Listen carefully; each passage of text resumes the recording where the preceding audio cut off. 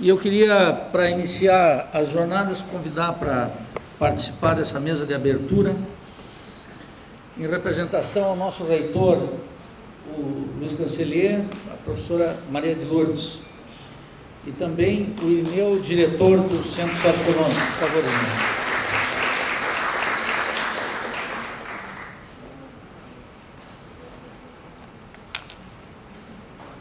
Graças, poeta. Estamos realizando eh, esse ano a 13 terceira Jornadas Bolivarianas. Quero recordar aqui para todos os nossos convidados, que já estão todos em Florianópolis, agradeço a disposição de estar conosco, aos estudantes, aos que nos assistem online, que quando, 13 anos atrás, começamos as jornadas, nós tínhamos que esclarecer que as jornadas bolivarianas não eram um comitê eleitoral em apoio a Hugo Chávez. Ah, não só a ignorância brasileira sobre a América Latina, mas, sobretudo, uma ignorância brasileira sobre a América Latina politicamente orientada, cujo objetivo fundamental é fomentar aqui no Brasil o eurocentrismo, ou a ideia de que o Brasil não é um país latino-americano portanto que não estamos na vala comum do sofrimento latino-americano e que por alguma estranha razão, talvez por uma razão particularmente especial, não seríamos um pertencer a essa maravilhosa condição de sermos latino-americanos. As jornadas e o Instituto de Estudos Latino-Americanos sobreviveram contra vento e maré. E é muito melhor que tenha sido assim, porque sobrevivendo contra vento e maré, criamos musculação. Musculação que nos permite enfrentar todos os problemas uma universidade acadêmica, que é, no limite, uma universidade anti-intelectual.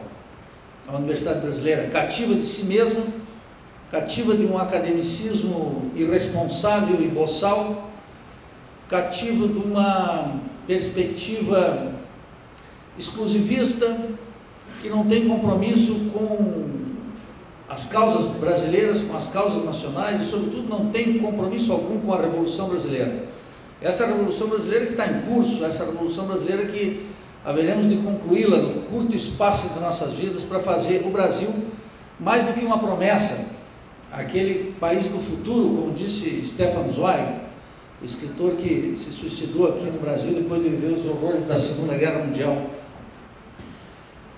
E a luta que nós fazemos aqui no Instituto e com esse evento anual, que são as Jornadas Bolivarianas, é precisamente um esforço de reflexão a partir de Santa Catarina sobre a América Latina, sobre a Pátria Grande. Nós todos, pela dimensão geográfica do Brasil, somos sempre tentados a pensar que a pátria grande é o Brasil. E não é, a pátria grande é a América Latina. E essas jornadas se dedicam sobre o tema da educação. E é particularmente importante que o que motivou essas jornadas é precisamente a reforma de Córdoba de 1918. Vocês podem ver que esse auditório está repleto de estudantes do Colégio Aplicação. Colégio Aplicação é o colégio da nossa universidade, ele tem um convênio com Córdoba há muitos anos, que é o projeto Córdoba, que está articulado conosco aqui no Instituto de Estudos Latino-Americanos e com quem temos é, longa tradição de conspiração coletiva contra toda essa universidade, tal como ela se encontra. E contra o projeto educacional, que é um projeto educacional destinado a manter o país na dependência e no subdesenvolvimento. Não tem nada de crítico nessa universidade, em nenhuma universidade. A universidade não é o espaço da crítica, ao contrário. Ainda que tenha ampla liberdade, nós constatamos com imensa é, tristeza e, e, e para nós nos parece muito claro que a despeito de toda a liberdade, ninguém quer fazer uso dela é muito mais, é muito melhor, parece muito mais cômodo manter-se disciplinadamente nos cânones eurocêntricos e nos currículos alienantes e nas perspectivas da ordem que a Universidade Brasileira está destinada a reproduzir. E Córdoba, de fato, foi um evento extraordinário em 1918. Foi uma experiência que nasce num período do governo de Irigoyen, na Argentina, que é um governo de relativa transformação social e de relativa perspectiva popular. Só é possível entender Córdoba 18 se pensarmos no processo político argentino, porque nada nasce dentro da universidade por si mesmo. E aquele grito ocorreu, foi particularmente fecundo, orientado, criado pelos estudantes. A reforma de Córdoba de 18, na verdade, funda a universidade que nós podemos chamar de universidade moderna. A universidade que queria autonomia diante do Estado. Coisa que eu já duvido que tenha que que, que existia. Mas, enfim, nós vamos discutir aqui durante esses dias. Segundo, era uma universidade que os estudantes lutavam contra o fim da cátedra. Vocês não podem imaginar o que era um professor catedrático, era aquele que era o dono da disciplina, intocável, que tinha uma pedagogia horrorosa e que tinha um controle do saber que ninguém poderia tocar nele. A cátedra foi um grito dos estudantes pelo fim da, da cátedra. E terceiro, mais importante, os estudantes de Córdoba 18 queriam um estudo que não tivesse a carga colonial e que estivesse voltado para os grandes temas da Argentina e os grandes temas latino-americanos. Foram eles, com a rebeldia deles, que gritaram que essa era uma hora americana. E a, a rebelião, ou a rebeldia de Córdoba em 1918, já ganhou e se estendeu por vários países latino-americanos. Lamentavelmente, Córdoba 18 teve escasso, muito pequeno impacto no Brasil. E é contra esse silêncio já secular de Córdoba, que cumpre 18, 100 anos, que nós realizamos as jornadas bolivarianas dedicadas a Córdoba 1918, a reforma de Córdoba. Um, um dos nossos convidados me perguntou, Manildo, discutir educação quando o mundo está caindo, disse, bom, a gente não podia prever. As jornadas ele decide sempre um ano, dois anos de antecedência. De qualquer forma, é claro que para discutir educação temos que discutir a situação política brasileira a situação latino-americana e assim vamos fazê-lo. E é um momento particularmente importante para a América Latina e particularmente importante para o Brasil. A característica essencial, sem querer me estender muito sobre isso, não é, ao contrário do que muitos pensam, que tem uma grande ofensiva da direita, e a direita está tomando conta da América Latina e vem direita por tudo quanto é caso, embaixo da cama e dentro do armário e aparecem personagens que são magnificados nas redes sociais e nos discursos do liberalismo de esquerda.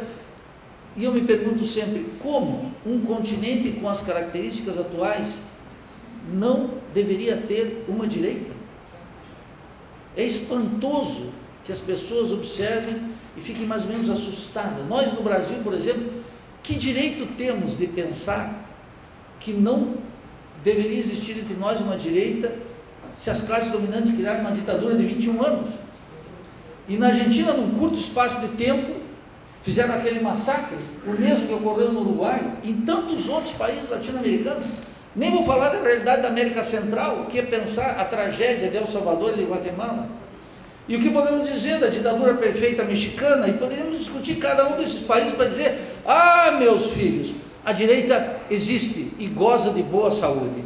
O que está em crise, e que finalmente, que bom que está em crise, é a consciência ingênua das forças de esquerda. Essa entrou em crise e tomara irremediavelmente. Acabaram todas e qualquer ilusões sobre as possibilidades de enfrentar a miséria, a exploração, a ignorância dentro do capitalismo. Aqui, para os nossos convidados, eu digo: o colapso do petismo no Brasil não é o colapso apenas de Lula, do PT, etc. É o colapso do sistema petucano, que envolve esse consórcio entre petistas e tucanos, que administram a ordem aqui, os tucanos sem sensibilidade social, com a arrogância típica da social-democracia paulista, que não pode ser outra coisa senão esse horror que nós já conhecemos. E do outro lado, o petismo, que é essa espécie de liberalismo de esquerda, cujo limite é fazer programas sociais orientados por um espírito que chamamos assim de caridade cristã, incapaz de enfrentar o problema da desigualdade, do subdesenvolvimento da dependência, com o poder forte das bases organizadas por um projeto socialista. Essa, isso resume a crise brasileira. A crise brasileira, portanto, é muito bem-vinda. E ela vem com esse hálito estranho com o qual nós estamos acostumados. Quando a crise vem, ela não pede licença.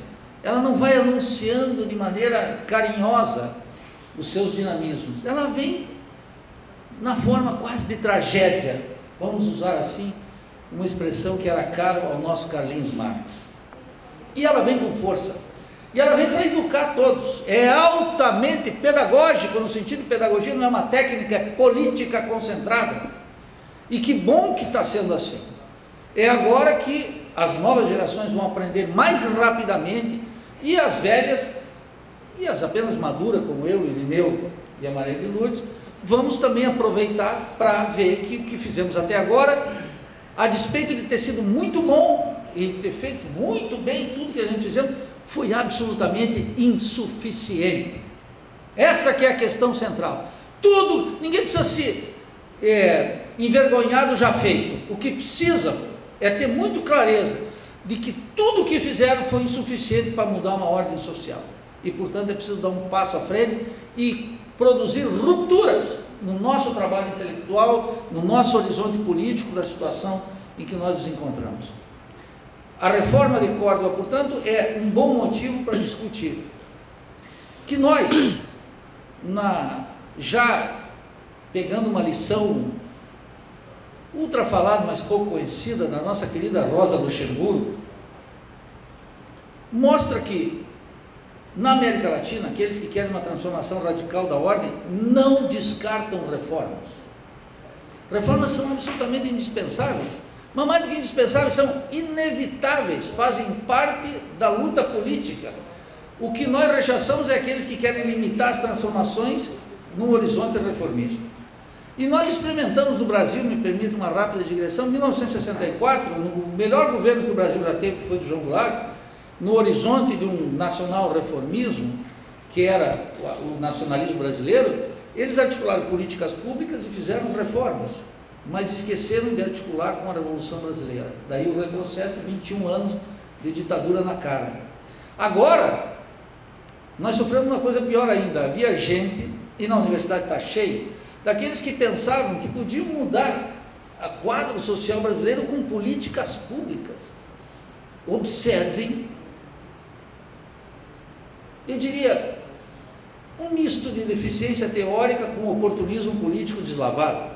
Ninguém pode mudar a realidade social a partir de políticas de um Estado que tem um conteúdo de classe bem determinado e tem ação delimitada. Em primeiro lugar, a política pública é importantíssima para a reprodução do capital, mais do que atender os pobres, os miseráveis, os desvalidos, etc.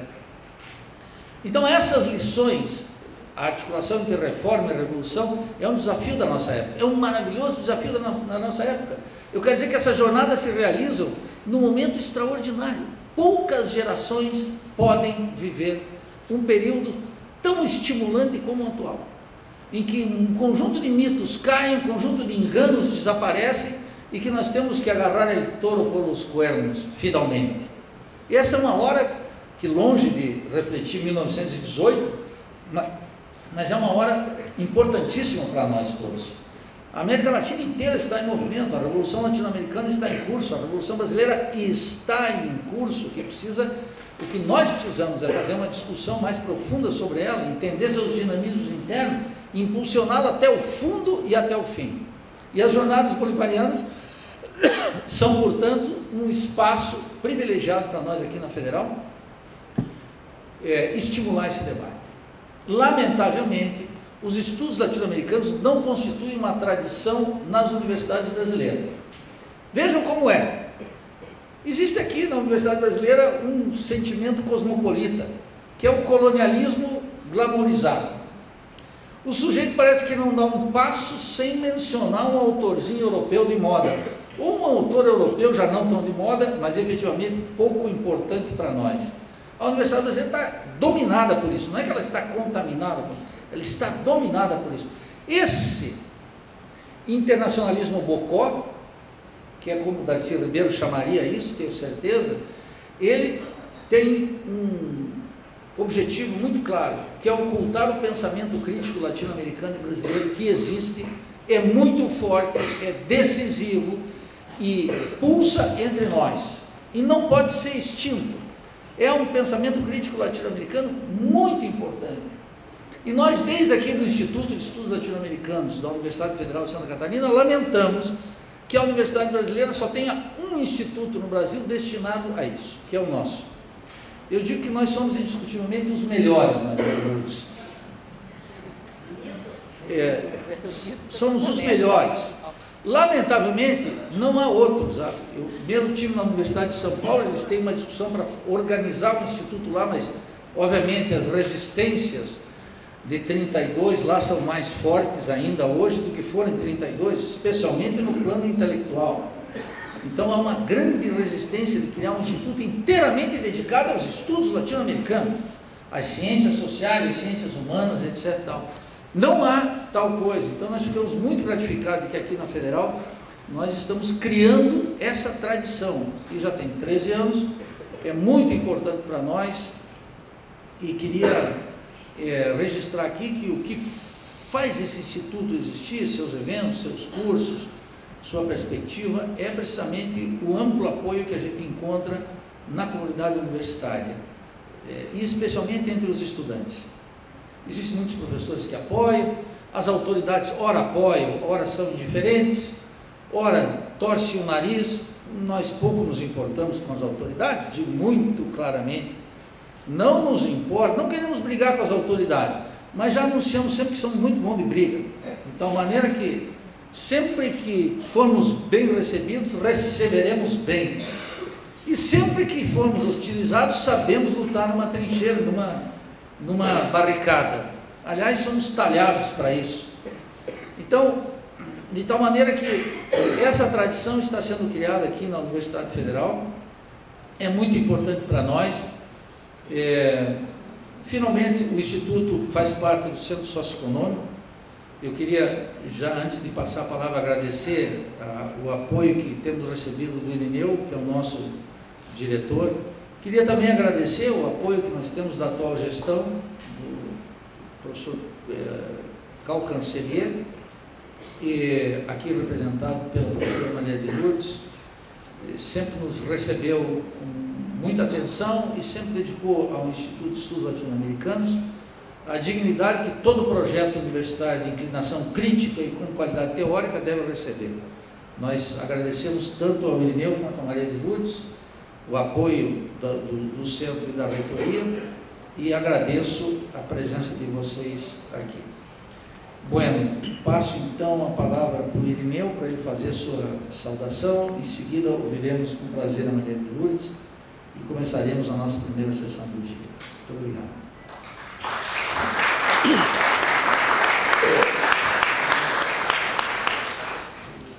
Obrigado, professor Milton.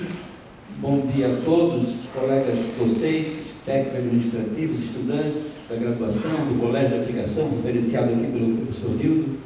É, cumprimentar a professora Maria de Lourdes, nossa colega aqui da universidade, que atualmente é secretária de Cultura e também está representando o reitor neste ato solene da abertura da 13ª Jornadas Bolivarianas, que está agora com o tema Educação na América Latina, 100 anos da reforma de Córdoba.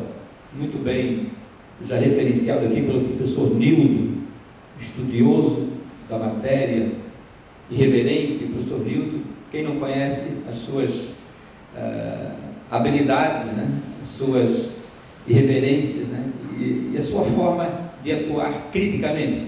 Eu tive o prazer de conhecer o professor Nildo quando ele era estudante, né? ele estava nos Diretório Central dos Estudantes, e eu era um jovem que estava começando a trabalhar no Departamento de Administração Escolar, no DAI. E o Nildo ia lá brigar no balcão, lá queria as informações. E desde todo esse período aí, que são passados muitos e muitos e muitos anos, né, professor Nildo? É, sempre tivemos um contato e um relacionamento muito próximo ao professor Nildo. Embora tenhamos um perfil aparentemente diferente, é, nós temos um relacionamento importante de cordialidade, um relacionamento profissional, acadêmico, e, enfim, aqui na universidade. É, na verdade, é, essa discussão que o professor Vitor coloca é uma discussão que a universidade não consegue, às vezes, entender de fato, né? O próprio Instituto, o próprio IELA, né? Gostaria de aproveitar já para uh, parabenizar toda a equipe do IELA, né? Em nome do professor Nildo e todo o pessoal aí, Elaine Tavares, seus colegas aí, o Maicon, enfim, todos os colegas que estão sempre, todo esse período, né, trabalhando numa situação adversa. Porque não é num contexto institucional, é sempre num contexto eh, de diferença, num contexto de dificuldade, né, sem estrutura, sem recursos financeiros, e também sempre lutando contra a ordem natural das coisas, ou seja, sempre buscando formas de trazer para a universidade algo diferente do, da grade curricular, das diretrizes curriculares, enfim, né, do professor sala de aula, trazer uma forma crítica e reverente de ver e de, de fato, trabalhar o conhecimento como ele é. Né? Esse é aproximar um pouco mais da sociedade e aprender também com a sociedade, que é o que a universidade tem muita dificuldade em fazer. Então, parabenizar a toda a equipe, dizer que o centro socioeconômico está dentro do possível, está sempre apoiando, né? nós sempre apoiamos e queremos apoiar ainda mais o, o IELA, as jornadas, porque entendemos que é uma atividade muito relevante para a universidade. Parabéns a todos vocês e ao professor Nildo. Obrigado. Bem, antes de passar a palavra para a Maria de Lourdes, queria registrar que todos os nossos convidados já estão confirmados. É, Pablo Emin, da, da Argentina, o Heinz Dietrich, do México, o jornalista Pedro Martínez Pires, de Cuba, o Luiz Fernando Saramo Macas, do Equador, a Trina Manrique, da Venezuela, e os brasileiríssimos Diógenes Breda, o Ivo Tonella, Federal de Alagoas, e a nossa querida Angélica Lovato, Lovato da Unesp. Quero agradecer aqui publicamente a disposição para estar conosco e com prazer ouvirmos a Maria de Cruz. Bom dia a todas e a todos. Gostaria de dizer inicialmente que é um prazer estar aqui em nome do reitor, professor Cancelier, abrindo essas jornadas bolivarianas. Gostaria de agradecer ao Nildo e cumprimentar também o professor Irineu. Bom, é sempre um prazer ouvir o Nildo, né, pela sua capacidade de provocação e, de certa forma, como resposta, eu gostaria de focar três pontos, e em alguns pontos eu realmente concordo com o Nildo. Né? Então, por que, que eu acho que as jornadas bolivarianas são importantes? Primeiro, porque realmente é importante que a gente tenha um Instituto de Estudos Latino-Americanos. E eu partilho eh, com o Nildo dessa surpresa de que nós não temos no Brasil tá? muitos institutos de estudos latino-americanos. E quando nós vamos, por exemplo, fiz pós-doc na Colômbia, em Nova York, lá nós temos o Instituto de Estudos Latino-Americanos.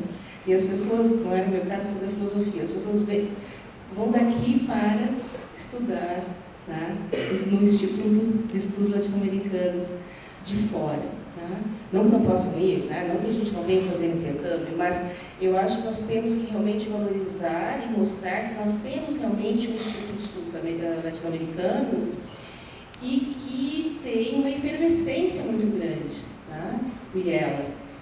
Do ponto de vista da pesquisa, do ponto de vista da extensão, do ponto de vista do ensino, é um instituto que não se resume apenas à economia, né, à sociologia, mas também tem atividades, né, eu sou secretária de Cultura e Arte, tem atividades na área de cultura. Inclusive, sempre nossos, nossos editais né, conseguem se colocar muito bem nesses editais, com seus uh, projetos culturais. Então, eu acho importante né, essa expansão, tá, essa efervescência e principalmente a permanência dela que consegue, há pelo menos 13 anos, realmente ter essa atividade aqui dentro da universidade. Uh, a segunda questão que eu gostaria de ressaltar em relação a ela é a necessidade de nós termos conceitos e análises próprias da América Latina. Eu acho que hoje, ainda que eu já tenha discordado durante muitos anos do Nildo, Acho que hoje, talvez, no meu pós-50, né, eu começo, começo a concordar em algumas coisas. Principalmente, eu, eu, eu, sou presidente da Sociedade de Canto Brasileira, eu sou uma defensora dos universais, sempre fui uma defensora dos, principalmente da filosofia, né, da filosofia, pensar que, que, os universais, que a filosofia feita de universais, o pensamento feito de universais, que não existiria um espaço para uma teoria, mesmo nível da filosofia latino-americana. E hoje eu já não penso mais assim. Eu acho que os universais do Kant estão imbuídos da, da Europa, né? os universais do John Rawls estão imbuídos do espírito americano, do Habermas. Ele fala da comunidade europeia. Então eu acho que a gente também tem que começar a falar para nós e pensar em conceitos. Tá? Pensar numa teoria tá? não só econômica, não só tendo a América Latina como objeto de estudo, mas eu acho que o desafio maior sempre é ter conceitos nossos. Eu digo isso porque eu uma experiência, eu apresentei um trabalho fora do Brasil sobre as jornadas de julho de 2013, que são bem polêmicas, etc. E eu, ao final da minha apresentação, eu falei com a professora que era coordenadora tá, do congresso, eu falei, olha, a minha apresentação ficou muito jornalística, porque eu queria fazer essa apresentação e colocar algumas categorias do John Rawls, algumas categorias do Habermas. Eu consegui. Ela falou, Maria, vocês têm que fazer uma teoria de vocês. Foi um pouco de choque ouvir de uma americana dizer que a gente tem que fazer uma teoria. Você tem que fazer uma teoria de democracia latino-americana vocês não podem sempre copiar os conceitos do John Rawls, do Habermas e tal. Eu sei que o Nido pensa assim há muito tempo, mas para mim é uma novidade começar a pensar assim. Tá? Que realmente nós temos que ter categorias, nós temos que ter categorias de análise uh, próprias, sejam brasileiras, latino-americanas, mas nós temos que fazer um esforço muito grande, porque realmente existe dentro da universidade essa ideia disciplinadora na filosofia vem tá, da ideia, por exemplo, de uma USP que sempre se quis francesa. Então, a, o conhecimento, principalmente nas humanidades, não quer ser latino-americano. Tá? Nós queremos ser europeus, tá? desde o nascimento da filosofia, principalmente na USP. Então, fazer essa guinada, tá? e agora um pouco americanos, então fazer essa guinada é uma guinada muito difícil ah, às vezes nós tentamos, eu inclusive tento com um, outro filósofo chama Daniel Omar que é argentino, está no Brasil na Unicamp, cada vez que a gente quer fazer alguma coisa nova, as pessoas dizem, não, mas o Kilika já disse mas o Rawls já disse isso, mas o Habermas já disse isso. Né? Então a gente não está nem fazendo história da filosofia, porque é bom, mas o Marx, o Kant, tem uma referência e tal. Não, mas é mesmo hoje muito difícil. Então, eu acho que o IEL e as jornadas bolivarianas têm essa intenção. Eu acho que, e penso que isso é muito importante para esse papel, que é o papel crítico da universidade, e é o papel de construção de conceitos. Eu acho que uh, uma intuição hegeliana, né, que a filosofar, colocar o seu tempo em conceitos, eu acho que essa também é uma das intenções das jornadas bolivarianas, né? Pensar sua realidade e colocar em conceitos. E não importar os conceitos, mas essa é mais difícil também.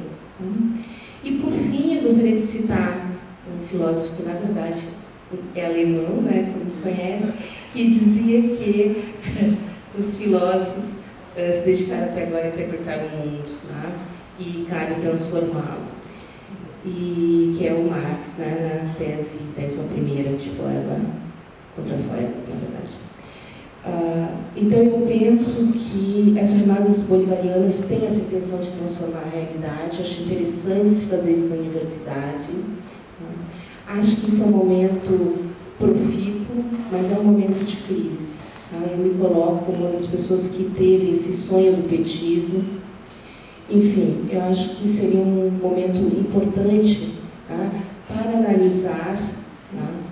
Talvez até questões que o próprio Marx tenha colocado. Né?